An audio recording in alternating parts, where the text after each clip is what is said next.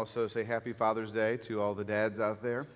Also, want to encourage you, fathers, to make sure that you say a word of encouragement to the sons and daughters that God's given you. Make that a habit, make that a priority in your life. Uh, no matter what age or stage your kids may be and how difficult they might be. Sometimes kids can be difficult. Have you all ever noticed that? I had one of my uh, sons was visiting a few uh, a week or two ago and looked at me and says, Dad, you're looking old. from the heart, man. Boy, do you want to grow old? Um,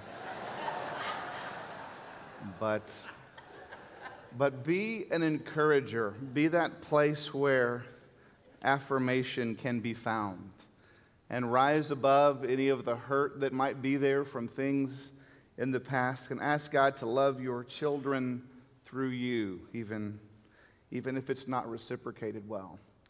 Uh, last week, I left you with Moses part one, and today, Moses is having a comeback. Now, I'm going to I'm going to have an unpopular take this morning, and I hope some of you don't change churches over it, and that is I'm not into golf. I, I know, I know. That's heartbreaking. I'm about to make some Methodists out of y'all here. but I'm not anti, I just, there's only so many things you can like. And I think I, I didn't get into it because my father didn't really play it. And I remember a few times that it was on the TV at home. And I would, I would walk past it going, What? That looks so boring. What is going on? I like to watch football. I like to watch basketball. I'm like, This is a little low on action. I will tell you that much. So, I will let you know that in all of my years, I have only seen golf on TV, uh, except for those little moments in passing through, one time. I only watched, and I only basically saw one hole of golf. But you might say it's the most significant, or uh, the most, yeah, I think those who are real golfers could disagree, but from what I heard and what I have read, I, I saw the most significant hole of golf in golf history, and that is the 2019 Masters. I was, I forget what else I was doing, but I was looking on an app, on a sports app or something, and everywhere I looked, everyone was talking about the Masters. And I'm like, you know what, maybe it can't be that bad. And so I, I turned it on, and it was the, either the end of the 17th hole or the 18th hole, and Tiger Woods was having a historic comeback. Um, to say that Tiger had a few challenges along the way in life is an understatement. Uh, he, of course, stormed on the scene, was uh, the best golfer in the world by 1997, and won tournament after tournament. Went through some personal challenges, went through a lot of physical challenges, and when he was coming back, he really was a shell of the Tiger of the 90s. And this was the moment where he entered into the last day of golf behind, two strokes behind, and he was essentially behind to the very end. And then the folks in front of him began to do poorly, and he began to make all the right shots. And of course, I, I loved his last shot and the joy that everyone had, and him picking up his little son. I'm a sucker for people that pick up their little kids and hug them. And I was like, man, this ain't so bad. Then I thought to myself, I think I'm done though. I think I've had all I want. uh, I may watch it again if there's another cool one hole like that. But I think, uh, I think in our culture, we're drawn into something we may not know much about, we may not normally like, if there's a good comeback story. I think we're a sucker for a comeback story. And in Moses' life, we see today a, a spiritual comeback. And as we look at Stephen's sermon in Acts chapter 7 and dive more into the story of Moses, we can learn some of our own principles about how to have a spiritual comeback in our life. Maybe you need a comeback in every area of your life. You've strayed far, and God's not finished with you, and He wants you to come back to Him, and you can have, by His grace, a spiritual comeback. For others, it may not be a full comeback. Maybe there's an area in your life or two that you've sort of put to the side spiritually. And God's really wanting you to come back to Him with this struggle in this area. And we should note that the context of these words today are once again in the long speech or sermon of Stephen, who is preaching for his life before the Sanhedrin. And he's walking through aspects of the, the story of Israel to show a couple of things. One, he's speaking about Moses because they assumed he hated Moses because he began to preach about Christ was the fulfillment of one of Moses' prophecy. And he basically shows himself as very pro Moses when seen in the right context. And there's other themes that Stephen's sermon contained that we'll highlight again today. But I want to first of all read verse 30 of Acts chapter 7 about how to have a spiritual comeback. And it says this Now, when 40 years had passed, an angel appeared to him in the wilderness of Mount Sinai in a flame of fire in a bush. So, this is a reference to Exodus chapter 3, the great story of Moses and the burning bush. Uh, we saw that last week he ran away from the life of luxury in Egypt. He was accused of, and uh, truly accused, actually accused of killing uh, an Egyptian. And so the Israelites didn't like him. And the Hebrews, um, the, the, Egyptians were now turning on him, and so he ran away to the desert. And he's there for some 40 years, and this is the end of his Midian journey, uh, and God appears to him in a burning bush. When Moses saw it, he was amazed at the sight, and as he drew near to look, there came the voice of the Lord I am the God of your fathers, the God of Abraham and Isaac and Jacob. And Moses trembled and did not dare to look. Then the Lord said to him, Take off the sandals from your feet, for the place where you are standing is holy ground. Now, the first principle this morning about how to have a spiritual comeback is number one, and that's this to keep an exalted view of God. So, you, we see a bush that is burning, but we, we find in Exodus 3 the bush is not consumed. I would imagine that it was not an unlikely sight in the desert of Midian, in the, in the hot heat of the desert, that there were small fires that would happen to dry bushes. And, but this scene was different. As Moses walked past it, he noted that the bush was burning, but it was not being burnt up, it wasn't consumed. And so he drew near, he stopped to look. And there are some that want to see symbolism in the bush itself. Some have ventured to say maybe the bush is referring to the nation of Israel. They were burned in the trials of their servitude and slavery, but the power of God enabled them to keep alive, and they were burned but not consumed. And that's a possibility. Some say that maybe the bush was a, a bramble or a, a thorn type of bush, and the thorns represent the thorns, uh, the crown of thorns on Christ's head, and it represents that Christ's death and his burning, but he was not consumed by his death because he rose in victory. That's possible as well. But one of the things we can never be too strong on are read ins to the text with symbolism. Um, oftentimes the, the Bible does use symbolic language, and sometimes it's very obvious. Sometimes we're even told what the symbolism means. In this case, I don't think we should push too hard for some type of symbolism. I think what God is doing is simply going out of his way to get Moses' attention.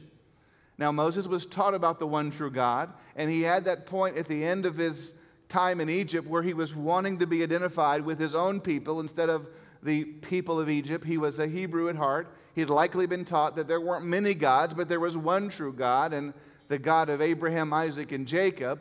But you can imagine he married a, someone uh, in the desert of Midian and likely from a pagan background. And it's possible that Moses has strayed from God again. And God went out of his way to get his attention. I think that's the point of the story uh, at, this, at this moment. And I wonder if you've had some burning bushes in your life where God has gone out of his way to get your attention. And maybe, maybe your burning bush has been a trial. Maybe you had some medical or physical disability that really woke you up and got your attention. Maybe sometimes God's burning bushes are blessings that He wants us to see that these blessings came from Him and that we should treasure and steward these blessings in a way that honors Him. Maybe God's burning bush sometimes is His silence. And sometimes God's burning bush in our lives might be deep and great conviction of the Holy Spirit upon our heart. But whatever God does to get your attention, make sure that you give Him your attention. And so he turns and begins to come toward the burning bush, and God says, Don't come any further.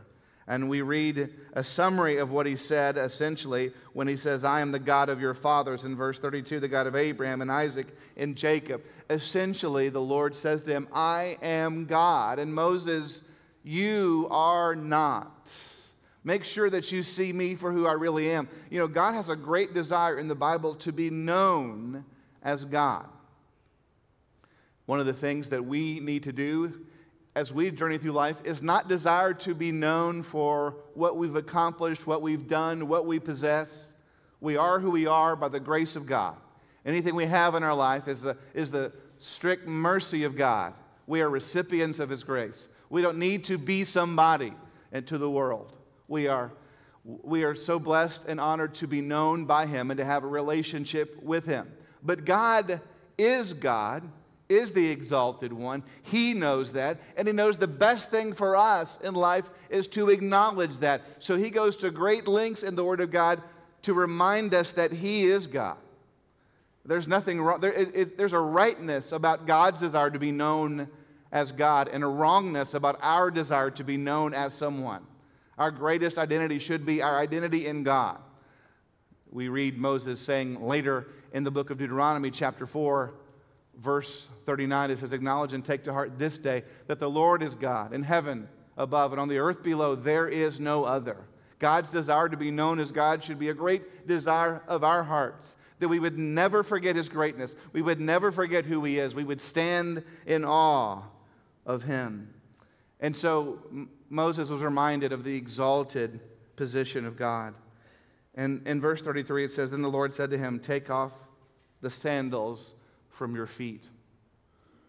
I was going to visit the house of one of our staff members recently, and they, uh, at their, there's a doormat uh, on their, in front of their door, and it says, cute shoes. Then it says, now take them off. They're one of those barefoot homes. And I, uh, I don't think that God is saying, cute sandals, Moses, now take them off in the same way why does he, we're not told exactly why he says to take off your sandals here, but sandal, being shoeless, was the plight of servants back in the day. In our day, shoes are common for anybody, regardless of their income. There's certainly nicer shoes for the more wealthy people. But if you had no shoes in that day, it was a sign that you were either a slave or a servant in some house, or that you were extremely poor. And I think that as God reminds Moses of who God is, of who he is, he wants Moses to realize, You are my servant. So take off your sandals and remember your role as a servant. He's about to ask Moses to do the unthinkable for him go back to Egypt. Well, there was a lot of bad blood between him and Egypt. There was a lot of skeletons in the closet, literally, him in Egypt. And for him to go back was a huge ask. And it was something that Moses was likely not up for. And so God says, Take off your sandals. Remember that you are my servant for my purposes to do my will. And I have a plan for you. So make sure you have the heart and the mindset and the attitude of a servant. And then he says, For the place where you're standing is holy ground. Holy ground? Way out in the desert of Midian. Why on earth is holy ground found out there? Now, this was a really big message to the hearers of Stephen's sermon because Stephen's listeners, his congregation that morning, were convinced that God dwelled in Israel, and specifically, God dwelled in the temple. That's where the residence of God was. Sometimes we refer to this church or one of our campuses as the house of the Lord but we do so uh, for lack of better terms. God doesn't dwell in here in the Village Park campus, in the downtown campus. He dwells in heaven, He dwells in the hearts of believers, and wherever God is, wherever we recognize where God is, that's holy ground. And I, I, think it's a reminder. Sometimes, have you ever been a place in your life where you don't like the place that you're living? Not merely the home or the habitation, but maybe it's the phase of life, maybe it's the actual city or state. You might have gone through a time like that where you're unhappy with those kind of surroundings. And I want to encourage you to ask God for a greater sense of His presence in those moments. Because wherever you are, and if you're a follower of Christ, you know Christ personally, there He is as well. And when you commune with God anywhere, that becomes holy ground. There's a sacredness to any place we are where there's an awareness of the presence of God. And so he was reminding Moses that he was exalted and that Moses was his servant and that God's presence was with Moses there and would be with him everywhere. Now, in verse 34, it says, I have surely seen the affliction of my people who are in Egypt, and I have heard their groaning, and I have come down to deliver them, and now come I will send you to Egypt. This is the message that Moses did not want. He was probably settle in to this new phase of life. I'm sure there was a shock for Moses being going from rich to poor, going from secure to unsecure, and changing professions, having a lowly profession in the culture. But he was probably saying, you know what, I'm ready to sort of ride into the old uh, desert in the sky. My time is finished. And God says, No, you're not finished. I have a, a plan for you. But notice in verse 34 the tremendous personal care of God for Moses. Matter of fact, that's the blank number two, how to have a spiritual comeback number two, and cling tightly to God's personal care for you. It says in verse 34 Surely I have surely seen the affliction of my people. I think that sometimes when we're going through affliction, we're wondering if God is looking. Did you see that? Maybe you had, uh, maybe you were on the, the playground back in the day when you were in grade school and someone was mean to you, said something, or pushed you or shoved you, and the people that should have seen it didn't see it. And the people that mattered, you could tell on your classmates and many times your teacher or your coach may not believe you because they didn't see it and there's no there were no cameras and there's no proof and you're really mad because they didn't see what they should have seen. And sometimes because God is spirit we forget that he sees everything. And he, he does see your pain this morning. He does see your hurt. He does see any injustice that may have been done to you. But sometimes it's not very comforting. Have you ever been to the place in your life where something bad happened to you and someone did see it and they chose to ignore it? That's painful. That's anger inducing when someone sees you but they don't care enough to do anything. Well, God is showing that He goes beyond merely seeing. Notice how it says, I've seen the affliction, and then it says, I have heard their groaning. In other words, God is his eyes are working well, and his ears are working well. Have you ever had a prayer that you've lifted up again and again and again, and it's not being answered in the way that you hoped, and so you assume that God has not heard you, that there's something wrong with God's spiritual hearing? Brothers and sisters, we have to come to grips with it. God doesn't answer prayers just like we wanted him to and just when we wanted him to. And, and, and sometimes our belief in God's love for us hinges upon God doing what we dreamed of and hoped in. And the, the hope is not in our request, it is in God's sovereign will and his sovereign timing. God does what he does in a way that promotes his glory, and his timing is perfect. And so don't assume that God is not listening just because things didn't turn out in the same way that you requested.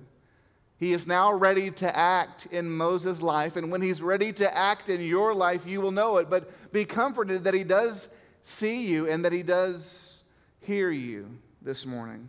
And then it says, I have come down to deliver them. And, and so he, he sees and he hears, and now he is going to act. God acts on in behalf of our good, but he does it in a way that is consistent with his perfect timing and perfect plan.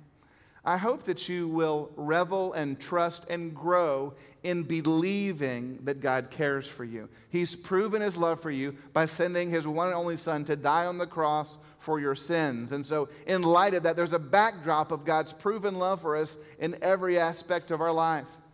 My wife, Susie, has two sisters, and she often has long conversations with them on the phone. And I was passing by one day, and it was on the speaker, and I heard one of her sisters say something incredibly profound spiritually. She says, You know, Suze, I am just now learning how much God loves me. And this sister is probably 10, eight or nine years older than Mrs. Lea. And what a beautiful, she didn't know she was going to be in the sermon, or she didn't know that she was giving preacher material to me. But I just paused and I'm like, man, that's an incredible thing to realize that God loves us and we're unaware of it sometimes. It's what Paul prayed for the Ephesians in chapter 3, verse 17 through 19, when he prayed that you, the eyes of your heart would be enlightened and that you would know how wide and long and high and deep is the love of Christ that surpasses knowledge. We have a, a sense of God's love, but it's never big enough, it's never enough. And that's how much you matter to Him. Your worth doesn't come by what you do for Him, it comes by you grasping His love for you and you understanding what a loving God He is.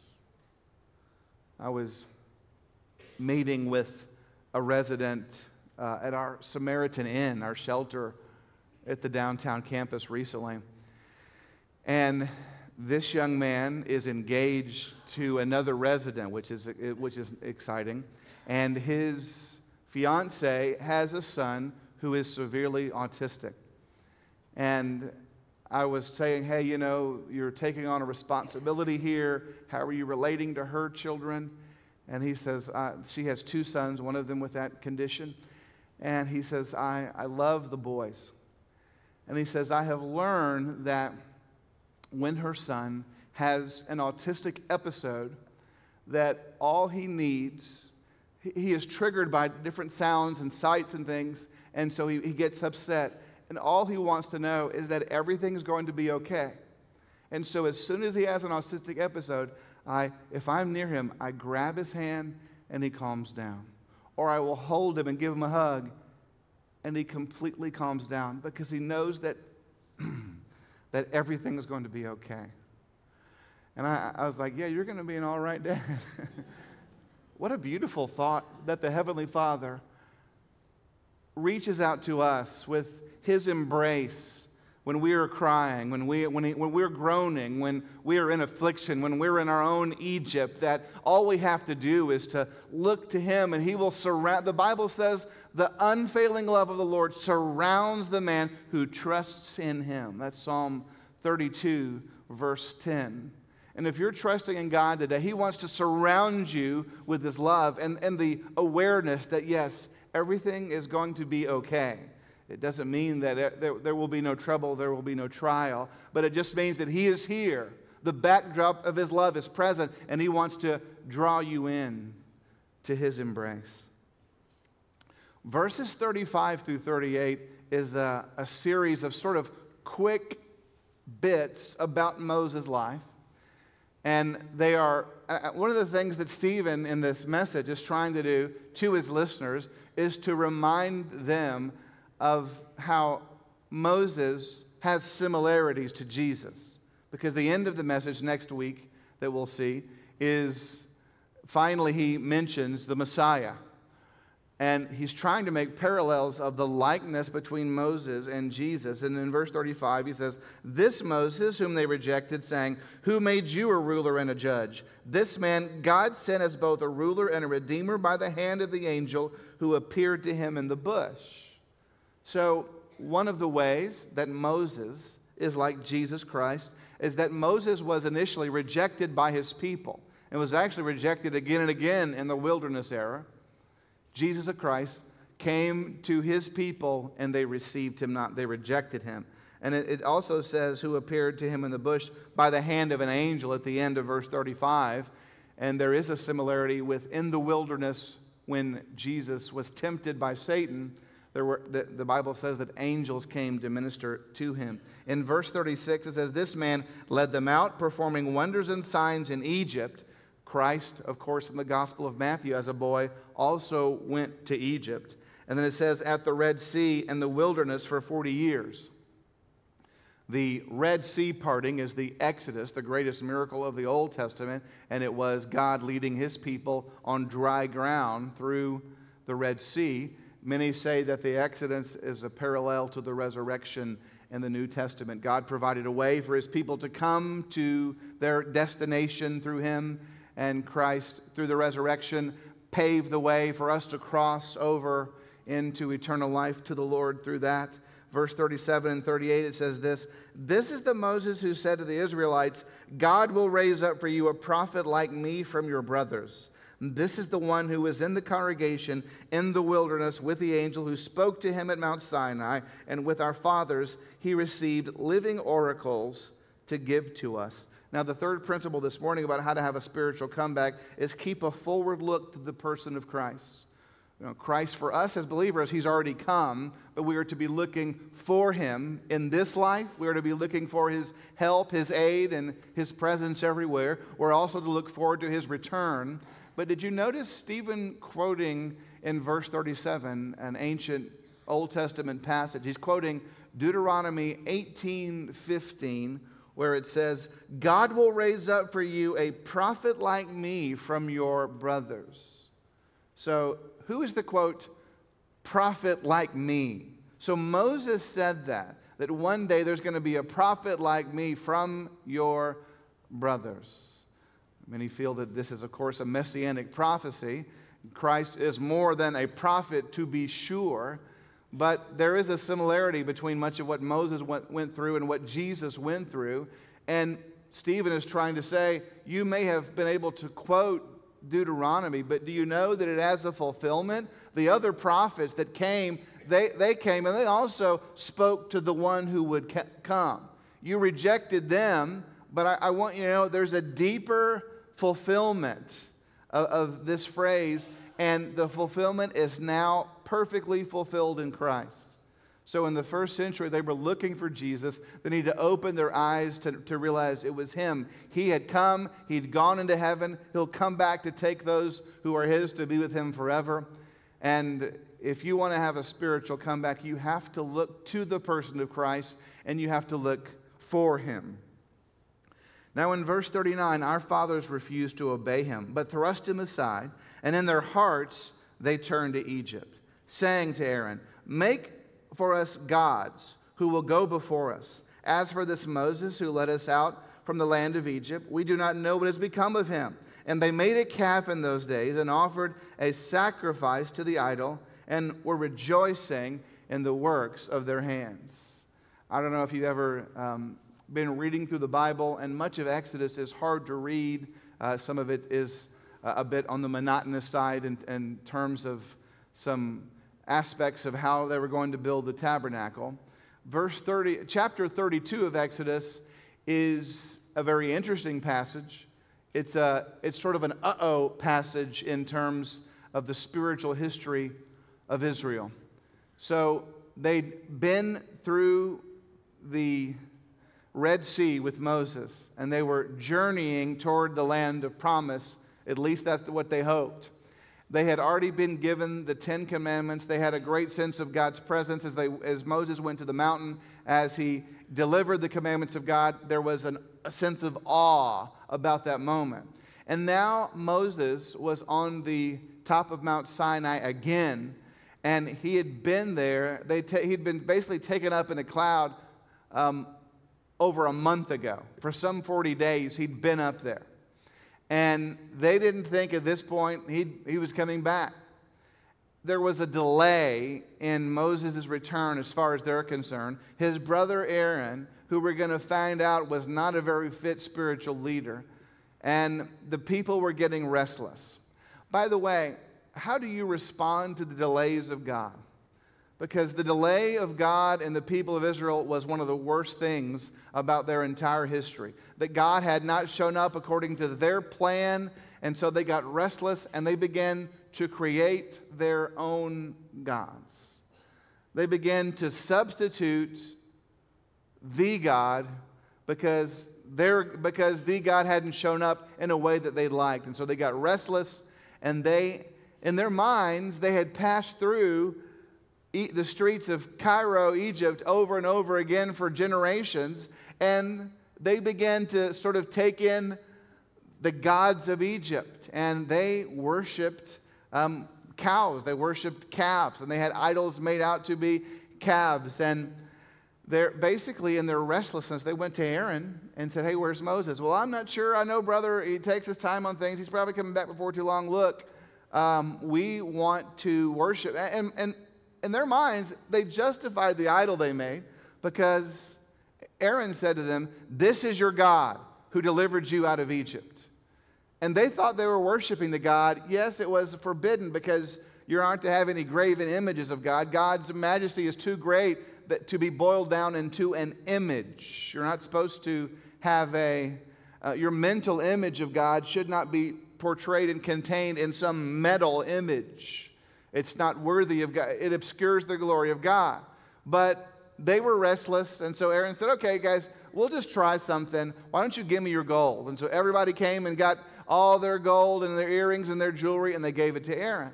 By the way, when you develop a substitute for God, it's amazing the devotion we will give to it of our own resources. We are generous to our quote idols. We, we spend and spend and spend so much for the things that are a, a cheap, sorry substitute for God.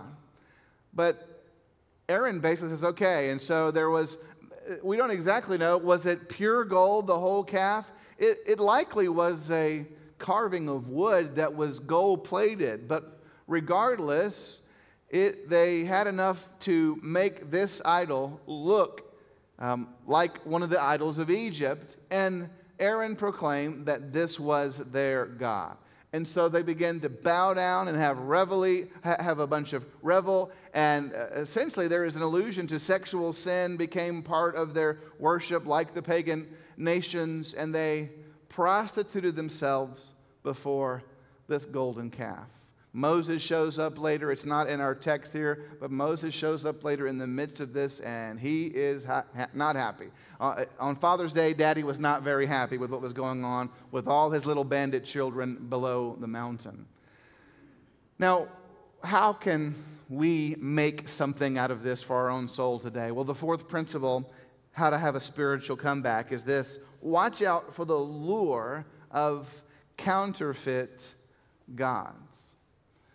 I have this memory as a kid. There was a missionary child that was in our, that occasionally was in our youth group. Her parents lived in some part of East Asia, and she would come for a few months every few years, and we would, you know, she became part of our youth group and all that stuff. And on the day that she was leaving, a bunch of girls were handing her cash. I'm like, well, that's sweet. They're blessing the missionary. I was like, what's going on here? And she goes, oh, well, I can get them some really uh, cheap Louis Vuitton purses in Asia. and she said, I didn't really know what that was, but uh, apparently they were a big deal, and they were, you can get a genuine fake uh, Louis Vuitton purse for about 10 bucks. And they came back, and they were these fancy dancy Louis Vuitton girls in Fort Worth, Texas. And I didn't go around and spill the beans that they're actually fake, but uh, we, of course, we're lured into things that are counterfeit because they have some benefit for us. Sometimes the benefit might be that we get to look and act a certain way, and we, sometimes there is a financial compensation or a financial ease if we go for the counterfeit. But there are a lot of counterfeit gods. And this kind of thing is difficult for us to be honest with ourselves about because I think we like to, well, if we're eating too much, we always like to say we're one bite away from gluttony. If, uh, if someone is drinking too much, you're a, you're a few sips away from drunkenness and therefore you're okay. And we don't know the line of, when, of what something that we like that is actually good, that is a gift of God, is something that we enjoy and we thank God for, or has it become a replacement for God to some degree. And I realize that the way we determine if we have a counterfeit God or idol in our life is by the Holy Spirit revealing to us. But if we have something that we look to when we should be looking to the Lord for, if we have someone or something that we say or think, I have no reason to live without this, my significance comes from this. Or if there's something in your life that you would begin to compromise long held values for in order to keep this or possess this or have this, I will do anything, that becomes a counterfeit idol. I may have told you before that when I was in a, a Sunday school class one time, the, the teacher was teaching about idolatry, and he said, he asked a question, and I know that you Sunday school teachers sometimes have a hard time generating class discussion. And it's, it's hard to know the right questions to ask that will generate proper discussion. And this person looked at us and said, Do you, any of you have any idols? Well, that's not exactly a friendly Baptist kind of thing. We're like, nah, no, we don't have any idols, you know. I've heard of a few people that have idols, but not us. And it was pretty much crickets chirping until one man raised his hand. And he was a wealthy banker in town. He goes, Yeah, I have some idols. He says, For me, it's money. You could have heard a pin dropper going, Well, tell me more about this idol. Sunday school just got interesting. But, I mean, the honesty of that confession just stuck with me. And, brothers and sisters, the counterfeits are cheap. The counterfeits don't last. We can act like it's, it's from God too, just like the people of Israel did, but they became a substitute for God that plummeted their spiritual life. So, the blessings that we have in our life, let's make sure that we see them as gifts from God, that we thank Him for, that we honor Him with. But when there's that com- competition for the allegiance of our soul, let's be honest enough to repent of our idols and eager enough to say, Lord, I want this thing to be subservient to my love for you. I want you to be first at all times, no matter what, Lord. And anything that I'm making out to be an idol, I, I give it to you, I yield it to you. Well, there's another principle I want to share with you from verse 42 and 43. Moses, or Stephen, in finishing up his thoughts about Moses, says one more statement about him, and then to make the point, he quotes from the Old Testament book of Amos. But God turned away and gave them over to worship the host of heaven, a reference to idols. As it is written in the book of the prophets, Did you bring to me slain beasts and sacrifices during the 40 years in the wilderness, O house of Israel? You took up the tent of Moloch. He's referencing pagan gods here that the Israelites were worshiping, and the star of your God, Rephan, and images that you made to worship. And I will send you into the exile beyond Babylon. So these are words of judgment that Stephen is reminding his hearers that when you make false gods, and I think that he was trying to imply that they had made a false god out of Moses and out of the temple itself. They had basically made something good from God a place to worship God, they had made that into God Himself. That was their own idol. And in verse 42, that's it. there's a chilling intro here. It says, But God turned away. Now we know what it's like for, for, for God to turn to us with His mercy and shine His face of love on us. But what a horrible thing for us to read these words. But God turned away and gave them over. Some of you are going, I don't think we teach that in children's church. God turned away and gave them over. That's not an aspect of God that we're familiar with. Well, I, I, agree that we're not familiar with it, but I do think we should become more familiar with it. That there is, that God is a God of incredible patience, but there's also a limit to his patience. I don't mean there's a limit to his forgiveness. He will forgive all our failings and we can repent and he will always restore us and come to us, but he also will not play the fool. It does say that there's a point in Israel's disobedience that their repentance was a sham, they didn't mean it, and then they ceased doing it. And so, for God to turn them over to their sin shows that He is basically no longer giving His restraint to them. Do you ever sense that God, that you would be in so much more trouble if God didn't have His hand on you, His direction, His guidance, and His Spirit leading you? Of course, we all would. But He is giving them over to their own consequences. Now, the difficulty in this is sometimes when God gives us over to our own sin, we enjoy it for a while. Picture a mom of a toddler, maybe a toddler boy who sees some dirt and mud and wants to play in it. And mom is telling him, No, you don't want to go over there. No, you can't go over there. And finally, his insistence, she just says, Okay, fine. Just go over there. And the toddler plays in the mud. And the bad news for mom is guess what? He liked it. He liked it a lot. Now, he's not going to like it when he wants to go back inside and watch cartoons and have a snack. And he can't come in there like that. But a lot of times when God gives us over to our sin, the temporary pleasure of sin, it, we enjoy it for a while. But when God gives us over and there's no longer his sense of conviction or restraint or that sense of God's presence in our lives, then we find ourselves into a deep, dark place. Now, as a, if you're a true believer, God's Spirit still remains in you. And if you run for Him, uh, God, I believe, will often put the burning bush in your life to awaken you and bring you back to Him. That's what God does for those who know Him but for those who hear the word of God and resist it, and God gives us over to our own sin, we sometimes fall into a place where we are so distant from His voice that it is highly unlikely that there will be repentance in our life. And this is something we must remember. Are, are you gifted at giving God the Heisman and you are pushing Him away from speaking to you in areas of your life? Note the the powerful wording of this verse and say, Lord, I don't want you to turn away from me. I don't want to be handed over to my sin. We see the horrible results of the sexual perversion that happened in Romans 1, verse 24, when God gave them over to the lust of their flesh. We're basically seeing it lived out in our day, in our own country and nation of God, giving them over to follow the perverse desires of their own heart. This is not something that believers want to be part of our lives.